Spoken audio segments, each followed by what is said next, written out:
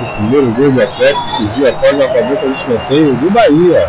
Madison pegou a sobra e ligou o contra-ataque com Wagner Diniz. O lateral foi rápido e acionou Guerreiro, que ficou cara a cara com o goleiro 嗯嗯啊那你